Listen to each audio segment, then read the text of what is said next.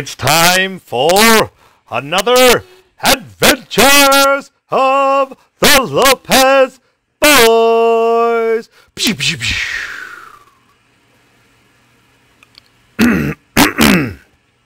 It was Halloween, and Grayson and Dean were going around their neighborhood tricky, trick or treating with their mommy and daddy.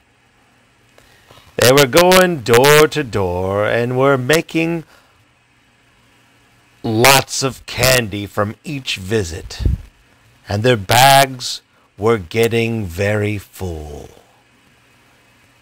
As they were passing by the next block, they went by the green park that Daddy takes them to very often, where they sometimes throw their boomerangs. As they were passing by, they heard a laugh.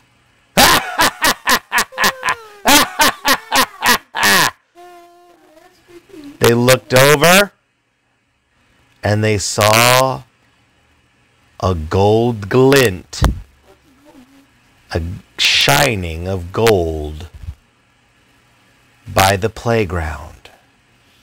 And walking out was none other than the million dollar man, Ted DiBiase, wearing his million dollar belt. Dean and Grayson looked at each other. Uh oh, what's he want? said Grayson.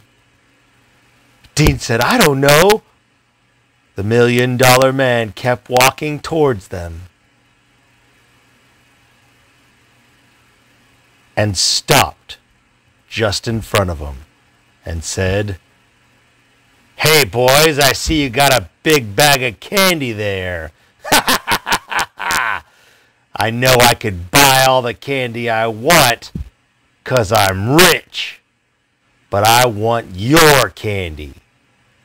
And Grayson and Dean said, No! And they turned around and looked at their mom and dad.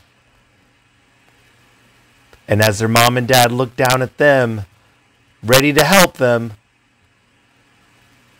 Grayson and Dean's eyes got really big and their faces were really scared because they saw right behind their mom and dad was the enormous Andre the Giant.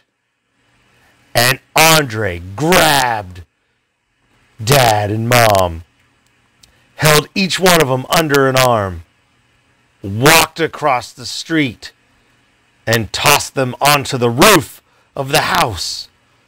Mom? And they were too high up to get down to be able to help their boys. Oh. Mom and dad. Oh. And once they were up there, unable to get back down, Andre walked back to the other side of the street. Boom, boom, boom, big heavy steps. And of course, the million dollar man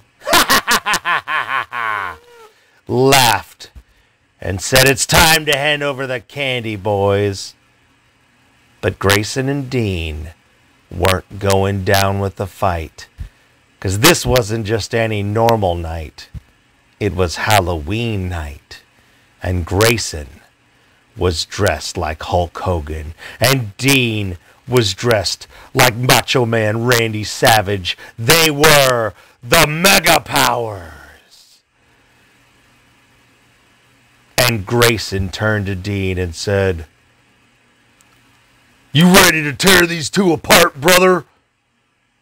And Dean looked at Grayson and said, Oh, yeah! yeah.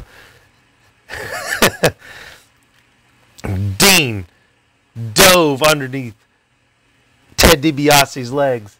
Ted DiBiase bent over, looked under his legs to see where he's going, and Grayson jumped on his back. From standing on his back, he was almost as tall as Andre the Giant.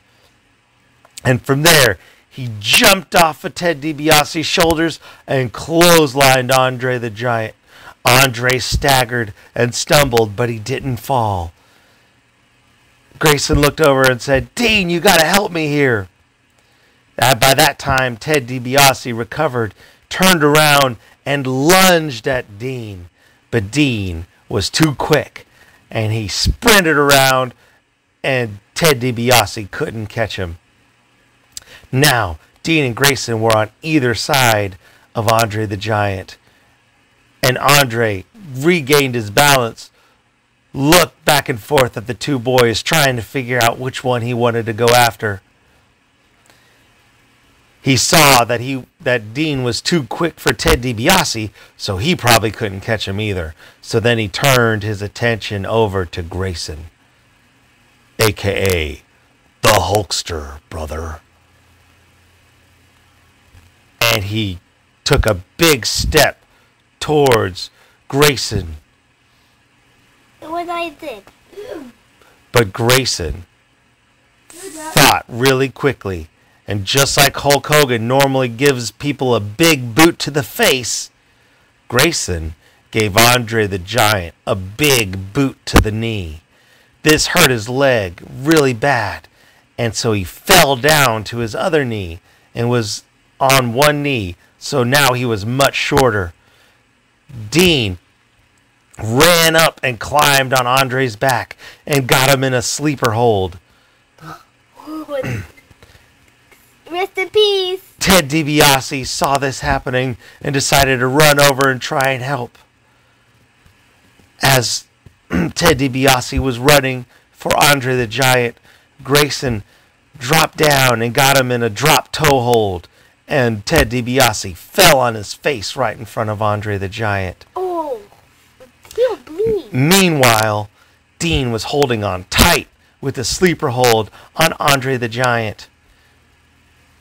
And you could tell he was struggling. He couldn't get Dean off. He was twisting his head and turning, but he wouldn't fall. Grayson saw this chance, got up, and now that Andre the Giant was all bent over and on one knee, now he could give him the big boot all the way to his face. So he ran over, boom, big boot, boot to Andre's face. Andre rolled and fell over and landed right on top of Ted DiBiase. Ted DiBiase, oh, help! I can't get up! You're squishing me, Andre! Get up! And just that time, Dean ran to the closest tree, climbed up, pointed up to the sky, and jumped off, landing on Andre the Giant and Ted DiBiase with a big flying elbow drop. And Grayson, to finish him off, ran up Super leg drop. and dropped the leg drop, the guillotine leg drop on Super both of them. Super leg drop. Boom! And they were done. They grabbed their bags of candy and ran over to try and help their mom and dad down from the roof of the building.